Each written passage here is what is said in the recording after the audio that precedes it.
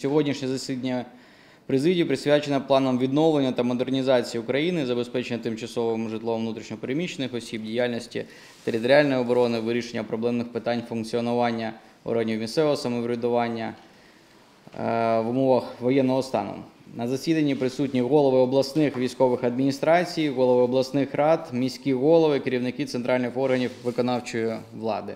І перше питання порядку денного підготовка плану відновлення та модернізації України. З вашого дозволу, до- доповідь за темою почну я особисто. Е, Пане президенте, пане голово президії Конгресу, шановні гості, колеги, країна з новим баченням, сучасність, яка змінить радянський підхід в містобудуванні архітектурі та плануванні території України. Саме такий підхід був основою розробки плану відновлення та модернізації, над яким ми активно працюємо з усіма муніципалітетами, голови обласних е, військових адміністрацій також. Наше завдання зробити базу даних потреб всіх населених пунктів країни та розробити концепцію простору кожного населеного пункту від найменшого села до великого міста, виходячи із потреб громади. Ми сформували 14 кластерів інфраструктури, що потребують відновлення або модернізації. Це зруйнована інфраструктура, по-перше, житлова інфраструктура, адміністративні будівлі, освітня інфраструктура, медична, спортивна, благоустрій територій, в незалежності це маленьке село чи місто, е, мережі, водоканали, тепло, газ, електропостачання, е, дорожня інфраструктура, оновлення комунального транспорту, система аеропортів, залізнична інфраструктура, безпека кожної громади, а також спецпроекти і меморіали, як на прикладі тих, які ви вже бачили, пане президенте, попередні варіанти. На виході ми будемо чітко розуміти, що необхідно кожному селищу, місту, ОТГ, району, області загалом. На сьогоднішній день у нас зруйновано більше 18 тисяч об'єктів інфраструктури. Е, Перший кластер, звісно, в аналітиці це зруйнована інфраструктура. Це дані про кількість зруйнованих багатоквартирних домівок, приватного житла, шкіл, садочків, вищих начальних закладів, медзакладів та іншого. Е, Який бюджет відновлення по кожному з напрямків потребує муніципалітет чи область? Наступні кластери це також напрямки, які ми вже проговорювали. Це напрямки, які потрібно модернізувати чи оновити, як тут термомодернізація будівель, чи добудова нових шкіл, садочків іншої інфраструктури. Протягом цього тижня ми отримали від всіх балансоутримувачів детальні дані щодо потреб. Після їх консолідації орієнтовно максимум до 5 травня ми зможемо отримати вже перші варіанти по кожній з областей. Ми ставимо собі за ціль, звісно, перші отримати Київську область, Чернігівську область, Сумську область, адже вони деокуповані. Далі йде у нас інші області. Ми сподіваємося, що ми отримаємо дані і проробимо в першому вигляді всі області, а Сумська, Чернігівська і Київська у нас будуть більш дороблені. Тобто, це вже готові документи, з якими ви, пане президент, може, можете працювати з міжнародними партнерами. До речі, стосуються такі е, документи, які ми готуємо не тільки регіонів, що були окуповані, чи де йдуть ще бойові дії. Ми розуміємо, що інші регіони, наприклад, на західній Україні, потребують змін, тому ми будемо працювати над модернізацією всіх областей. Протягом цього тижня сьогодні усім головам військових адміністрацій буде е, відправлений спеціальний документ, який ви разом з громадами повинні будете протягом наступних днів заповнити для того, щоб ми могли з аналітиками все це вже зробити в єдиний документ. Будемо переходити до обговорення другого питання порядку денного забезпечення тимчасового розміщення внутрішньо переміщених осіб в регіонах України. З вашого дозволу, я тоді почну.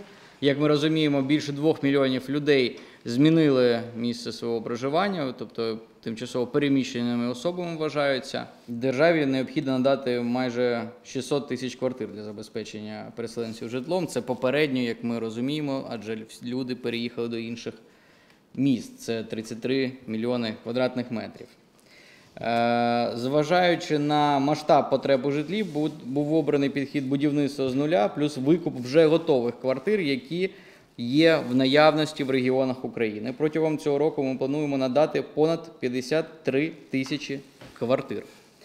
Це закриє потребу 186 тисяч переселенців. Зрозуміло, що будемо відпрацьовувати із Кабінетом міністрів, і з очільниками військових адміністрацій для того, щоб черговість надання таких квартир було відпрацьовано як треба. Щодо викупу квартир, ми розуміємо, що готові квартири повинні бути з ремонтом, сантехнікою і необхідними меблями. Ми викупаємо квартири тільки в такому, в такому вигляді.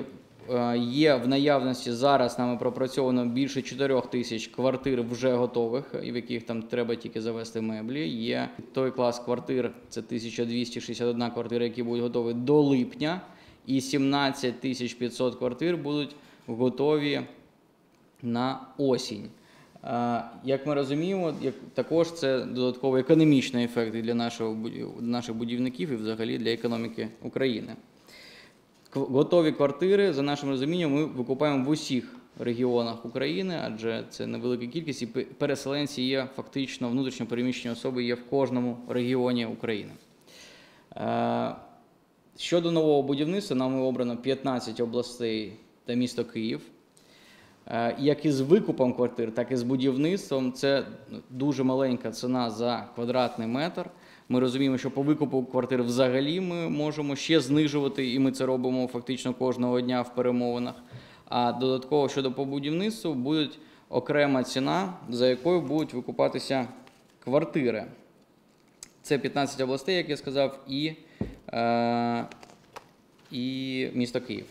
Ось ці області, які ви бачите на екрані. До кінця 2022 року ми плануємо побудувати 30 тисяч квартир загальною вартістю 36 мільярдів гривень. Загальна вартість проєкту з урахуванням викупу квартир майже 69 мільярдів. Рекомендована ціна від держави до обладнаної повністю квартири не більше 24 тисяч гривень за квадратний метр. Це попередні розрахунки, які ми робили разом з забудовниками.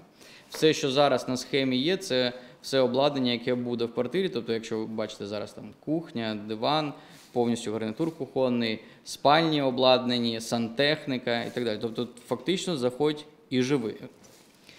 А, якщо ми кажемо про ці квартири, те, що ми яке завдання виставили, ці квартири будуть у власності держави, і як тільки буде відбудовано житло тих людей, які проживають тут, вони будуть повертатися до держави і надаватися далі вже саме тим людям, які були історично в великих чергах в Україні. Найголовніше ще це те, що ми додали бомбосховища. Кожному такому жилому комплексі буде своє бомбосховище з окремими входами з усіх домівок. Домівки у нас до п'яти поверхів, від трьох до пі- п'яти поверхів, 50 тисяч квадратних метрів на один комплекс. Ми плануємо будувати перш, першим етапом 100 тисяч квадратних метрів в цих 15 областях і в місті Києві. Тобто по 2 тисячі квартир на область.